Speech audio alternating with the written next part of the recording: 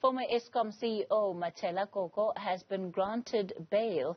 Koko is one of eight arrested in connection with the multi-billion rand irregular tender at Kusile Power Station in Mpumalanga. They face charges of fraud and money laundering. All the accused were arrested in Gauteng and in Mpumalanga this morning. Bail proceedings are still ongoing. Well, Rudie Heyneke is the state capture portfolio manager at the organization Undoing Tax Abuse. He joins us now tonight.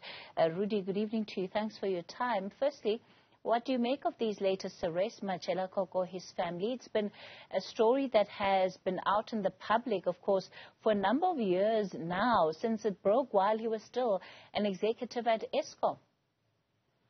Good evening, Kathy. Yes, uh, this comes uh, or goes back to Uh, 2018 when he was uh, still an executive at was, and there was a disciplinary hearing at Eskom uh, where he resigned uh, during this disciplinary hearing and he did not admit any guilt on, uh, you know, the accusations put to him in that disciplinary hearing. So yes, it goes back a long way. Let's talk about the significance of these arrests, the fact that this matter is finally before the courts. This is significant, uh, you know, not only the arrest today of Mr. Koko and the family and all the other accused, but also the other state capture arrests that we saw in the past months. Uh, and this shows that, and hopefully that the uh, law enforcement agencies and the prosecuting authority, you know, are really getting grips to, getting grips on the, the matters related to state capture part of what we are seeing here is that uh, the case that they, they really have to answer to has to do with a building contract related to Kusile.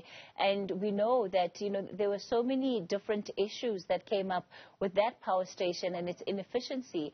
It's, it's part of the reason why we are even having load shedding to the extent that we do today. Yes. Uh, this contract, as we understand it, was, uh, you know, the main contract was between Eskom and ABB. and Then uh, ABB subcontracted Liago, the company of one of the accused.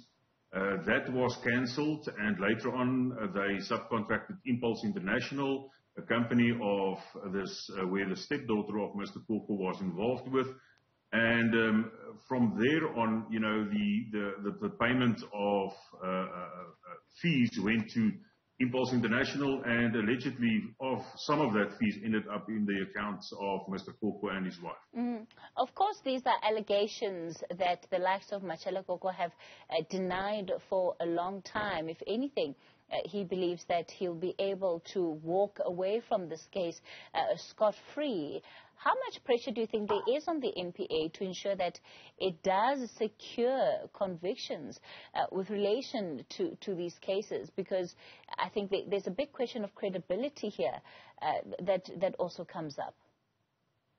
Yes, we have got information, you know, that this case was uh, quite ready for uh, uh, going to court, you know, quite a while ago already.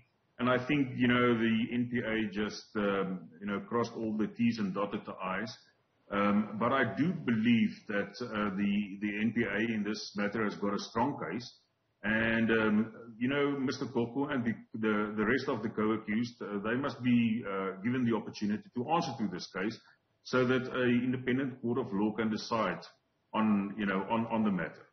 Rudie Heyneke is with the organization Undoing Tax Abuse. We'll leave it there for tonight.